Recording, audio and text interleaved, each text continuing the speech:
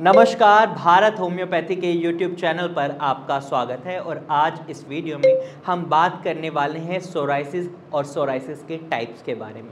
अगर आप एक सोराइसिस पेशेंट हैं तो आपको सोराइसिस के टाइप्स पता होना बहुत ज़्यादा ज़रूरी हो जाता है, क्योंकि जब तक आप अपनी बीमारी को खुद डायग्नोस नहीं कर पाएँगे, तब तक आप उससे जल्दी रिकवर नहीं हो सकते। तो इसलिए आपको अपनी बीमारी के बारे में अच्छे से पता होना बहुत ज़रूरी हो जाता है। तो सबसे पहले हम समझ लेते हैं सोराइसिस सोराइसिस क्या होता है? सोराइसिस एक ऑटोइम्यून डिसऑर्डर है, जिसमें आपका इम्यूनिटी सिस्टम हाइपर एक्टिव होकर आपके स्किन सेल्स को डैमेज पहुंचाता है, जिसका रिज़ल्ट ये होता है, आपका स्किन सेल टर्नओवर टाइम कम हो जाता है। एक हेल्दी इंसान में स्किन सेल टर्नओवर टाइम 28 से 45 दिन होता है, लेकिन जब आप सोराइसिस के पेशेंट बन जाते हैं तो ये स्किन सेल टर्नओवर टाइम घटकर 10 से 15 दिन भी हो सकता है 15 से 20 दिन भी हो सकता है। जिसका रिज़ल्ट क्या होता है? जो भी डेड स्किन सेल्स होते हैं, वो आपकी स्किन के ऊपर आकर स्टोर होने लग लग जाते हैं, उनमें हल्की सी इन्फ्लेमेशन आपको दिखती है और उसमें आपको खुजली महसूस होती है। यही सोराइसिस होता है। अब इसके टाइप्स की बात कर लेते हैं। तो मैं इस वीडियो में नाइन टाइप्स ऑफ़ सोराइसिस आपको बताने वाला हूँ कवर करने वाला हूँ। तो सबसे पहले टाइप की बात करते हैं, जिसको बोलते हैं प्लग सोराइसिस और इसको डॉक्टर एक और नाम से जानते हैं, जिसे बोलते हैं वलगरिस सोराइसिस ये सोराइसिस लगभग 70 से 80 प्रतिशत लोगों में कॉमनली देखा जाता है। जो भी सोराइसिस के पेशेंट होते हैं, उनमें जो सोराइसिस होता है, वो प्लग डायरेक्ट सोराइसिस ही होता है। यानी इसकी पहचान कैसे करी जा सकती है? इसकी पहचान होती है कि आपके स्किन पर आपको लाल धब्बे पिंकिश धब्बे और सिल्वरी स्किन की बॉर्डर लाइन होती है उन पर और इनमें बहुत ज़्यादा ड्राइनेस होती है और आपको इचिंग की प्रॉब्लम होती है। ये आपके एल्बोज में नीज में, इनकी शुरुआत यहाँ से होती है और आपके शरीर में कहीं भी हो सकते हैं। अब नंबर टू टाइप की बात करते हैं तो ये बहुत कॉमन है स्कैल्प सोराइसिस ये भी एक प्लैग सोराइसिस की तरह ही होता है।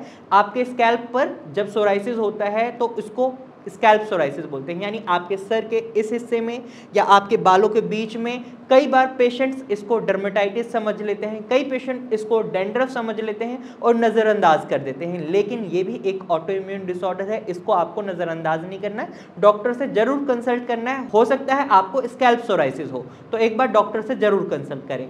नंबर थर्ड सोराइसिस होता है नेल सोराइसिस यानी जो आपके नखूनों में, आपके पैर के नाखूनों में, आपके हाथ के नाखूनों में जो भी सोराइसिस होता है, उसको नेल सोराइसिस कहते हैं। ये कैसे होता है? आपके नाखून बिल्कुल आपकी स्किन से हट सकते हैं, आपके नाखून बिल्कुल ड्राई हो सकते हैं, उनमें दर्द हो सकता है, आपके नेल्स की शेप बदल सकती है और इनमें बहुत ज़्यादा इरिटेशन आपको महसूस हो सकती है।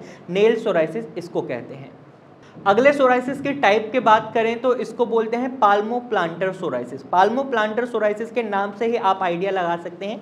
आपके पान पे जब भी सोराइसिस के पैचेस आपको दिखाई देते हैं, इस पैचेस में क्या होता है कि आपके हाथों में दरारें आ सकती हैं, बहुत ज़्यादा खुजली महसूस हो सकती है कट्स आ सकते हैं और ब्लीडिंग भी हो सकती है। और साथ ही साथ आपकी सोल ऑफ़ द फीट यानी आपके पैर के निचले हिस्से में आप स्क्रीन पर देख सकते हैं। आपके पैर के इस निचले हिस्से में, जैसे कि ये आपका पैर है तो इसके जो नीचे का हिस्सा है आपके पैर का, उसमें आपको ये देखने को मिल सकते हैं। और इसमें आप देखेंगे कि आपको चलने में बहुत दिक्कतें हो सकती हैं, आपको हाथ से काम करने में दिक्कत हो सकती है अगर आपके हाथ में पाल्मो प्लांटर सोराइसिस है। इसमें भी आपको मेडिकल ट्रीटमेंट की बहुत ज़्यादा रिक्वायरमेंट होती है। इसके बाद जो सोराइसिस का टाइप आता है, वो होता है गटेट सोराइसिस गटेट सोराइसिस के अंदर जो प्रॉब्लम देखी जाती है वो कॉमनली बच्चों में या युवाओं में देखने को मिलती है। ये एजड लोगों में कम देखा जाता है और इसके अंदर पेशेंट को एकदम से गटेड सोराइसिस नहीं होता, या तो उन्हें कोई बैक्टीरियल इन्फेक्शन की वजह से फीवर हुआ होता है, या किसी इन्फेक्शन की वजह से उनकी बॉडी में ये गटेड सोराइसिस की प्रॉब्लम बनती है।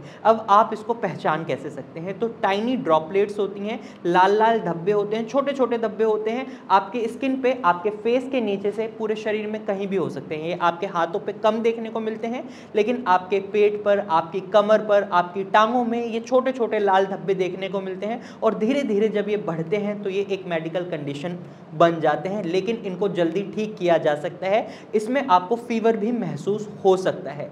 इसके बाद आता है आपका पस्चुलर सोराइसिस इसके नाम से भी आप आइडिया लगा सकते हैं, यानी पस कंटेन करने वाले सोराइसिस ये आपके प्लैग सोराइसिस से थोड़े से डिफरेंट होते हैं। जैसे कि मैंने आपको वीडियो की शुरुआत में बताया था प्लैग सोराइसिस के बारे में। आपको रेड पैचेस दिखते हैं पिंकिश पैचेस दिखते हैं, उनके साइड में आपको व्हाइट लाइनिंग या सिल्वर कलर की लाइनिंग दिखती है। लेकिन पस वाले सोराइसिस में क्या होता है आपके पस भरे हुए जो छोटे छोटे पिंपल से होते हैं, वो वाइट होते हैं और उनके साइड में आपको रेड लाइनिंग देखने को मिलती है। आप स्क्रीन पर देख सकते हैं, आप स्क्रीन के थ्रू इजीली समझ सकते हैं कि पस सोराइसिस किस तरीके से दिखता है और इस तरीके से आपको समझ आ गया होगा कि पस सोराइसिस क्या होता है। ये भी आपके हाथों में और सोल ऑफ़ द फीट पैरों के निचले हिस्से में होता है ज़्यादातर। और इस सिनेरियो में भी हमें देखने को मिलता है, आपके ज्वाइंट्स में बहुत ज़्यादा दर्द होता है जब ये आपकी उंगलियों पर होता है और जब आपके हाथों में पस्चुलर सोराइसिस होता है तो आपको काम करने में बहुत दिक्कतों का सामना करना पड़ता है। इसके साथ ही पस्चुलर सोराइसिस एकदम रैंडमली आपको नहीं होता, इसका एक बहुत बड़ा कारण होता है। जब आप एक्सेसिव अमाउंट में किसी भी तरह के स्ट्रॉइड्स का इंटेक कर रहे होते हैं, चाहे आप उसको ऑरली कर रहे हैं या ट्रॉपिकली कर रहे हैं, यानी आप खा रहे हैं, या फिर आप क्रीम की तरीके से किसी भी तरीके के स्ट्रॉइड्स का इस्तेमाल कर रहे हैं, काफ़ी लंबे समय से और एकदम से अचानक से आप उसको बंद कर देते हैं। तो इसके रिज़ल्ट में आपको पस्चुलर सोराइसिस और एरिथोडर्मिक सोराइसिस होने के चांसेस होते हैं। तो इसीलिए डॉक्टर्स आपको ये सलाह देते हैं कि आप स्ट्रॉइड्स कभी भी खाते हैं तो एक बार डॉक्टर से सलाह ज़रूर लें और बिना डॉक्टर की सलाह के उनका इंटेक करना कंजप्शन करना बिल्कुल बंद ना करें, क्योंकि इसकी वजह से आपकी बॉडी पर एडवर्स इफ़ेक्ट आपको देखने को मिल सकता है। और इसके बाद आता है सोराइसिस का एक ऐसा टाइप जो बहुत ही खतरनाक है, यानी एरिथोडर्मिक सोराइसिस इस सोराइसिस के अंदर किसी भी इंसान की 90 परसेंट बॉडी पूरी सोराइसिस से कवर हो जाती है, यानी जो प्लैग सोराइसिस है, आप इसको इस तरीके से समझिए, आपकी पूरी बॉडी पर सोराइसिस हो जाता है। इमेज में आप देख सकते हैं किस तरीके से होता है, और इस समय पेशेंट को बहुत ज़्यादा खुजली महसूस होती है, बहुत ज़्यादा इरिटेशन महसूस होती है, कई बार फीवर आ जाता है, बहुत ज़्यादा थकान बनी होती है, और ऐसे में पेशेंट का सेल्फ कॉन्फिडेंस बिल्कुल डाउन हो जाता है स्ट्रेस बहुत ज़्यादा हो जाता है, और ये एक ऐसी कंडीशन है जिसमें आपको मेडिकल कंडीशन तुरंत ही डॉक्टर के पास जाना होता है। क्योंकि अगर आप इसको बिना डॉक्टर की सलाह के ठीक करने की सोचेंगे तो ऐसा बिल्कुल भी पॉसिबल नहीं है। पेशेंट बहुत ज़्यादा परेशान हो जाते हैं। अगर हम बात करें सोराइसिस के सबसे खतरनाक टाइप की तो उसमें एरिथोडर्मिक सोराइसिस ही आता है।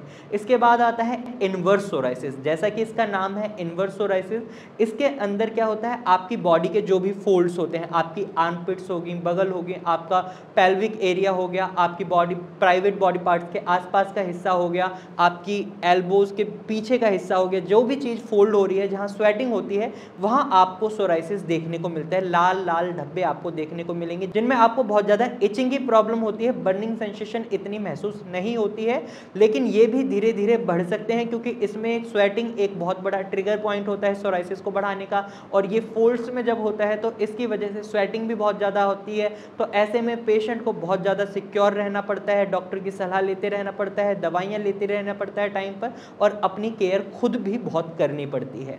अब लास्ट टाइप है सोराइटिक अर्थराइटिस सोराइटिक अर्थराइटिस जैसा कि आपको पता है अर्थराइटिस यानी जोड़ों से संबंधित समस्या। अब सोराइटिक अर्थराइटिस में क्या होता है, जब आपका सोराइसिस अनट्रीटेड रहता है, काफ़ी लंबे समय तक, पाँच से दस साल के बीच में, अगर आपने अपने सोराइसिस को ठीक नहीं करवाया या सही मेडिकल ट्रीटमेंट नहीं ले रहे, आप मैनेज नहीं कर पा रहे उसको तो इसका रिज़ल्ट क्या होता है? सपोज़ अगर आपकी इन उंगलियों पर आपको सोराइसिस है और ये पाँच से दस साल तक बना हुआ है तो इसकी वजह से आपके इन जॉइंट्स में भी आपको दर्द महसूस होने लग सकता है। इनमें भी इन्फ्लेमेशन आ सकती है, इनके जॉइंट्स में भी दिक्कतें बन सकती हैं और इसी को सोराइटिक अर्थराइटिस बोलते हैं। यानी जब आपके जॉइंट्स पर सोराइसिस के पैचेस बनने लगते हैं और उनमें दर्द बहुत महसूस होता है, आपके जॉइंट्स में बहुत ज़्यादा स्टिफनेस आ जाती है, आप काम नहीं कर पाते तो इसी को सोराइटिक अर्थराइटिस बोलते हैं। अब इस वीडियो में मैंने आपको बताए हैं नाइन टाइप्स ऑफ़ सोराइसिस और अगर आप इनमें से किसी भी तरीके के सोराइसिस को फेस कर रहे हैं तो तुरंत ही डॉक्टर से कंसल्ट करें और मेडिकल ट्रीटमेंट शुरू करवाएँ और कुछ बातों का खास ख्याल रखें कि आपको स्ट्रेस नहीं लेना है, क्योंकि आप स्ट्रेस जितना लेंगे, उतना ही आपका सोराइसिस और ज़्यादा एग्रीवेट होगा, आपको ये गलती नहीं करनी है। तो आज की इस वीडियो में सिर्फ़ इतना ही, मुझे उम्मीद है ये वीडियो आपको अच्छी लगी होगी। अगर आप सोराइसिस के किसी भी टाइप का ट्रीटमेंट लेना चाहते हैं तो आप स्क्रीन पर दिए गए नंबर पर कॉल कर हमारी टीम से कंसल्ट कर सकते हैं और उन्हें अपनी समस्या के बारे में बता सकते हैं। तो आज के वीडियो में सिर्फ़ इतना ही। साथ ही आप कॉल करने के साथ साथ आप हमारे स्क्रीन पर दिए गए नंबर पर व्हाट्सअप भी कर सकते हैं, अपने सोराइसिस की फ़ोटो और डॉक्टर से कंसल्ट कर सकते हैं, हमारी डॉक्टर की टीम खुद ही आपको कांटेक्ट करेगी। तो आज की वीडियो में सिर्फ़ इतना ही, फिर मिलेंगे एक नई वीडियो के साथ, तब तक के लिए नमस्कार।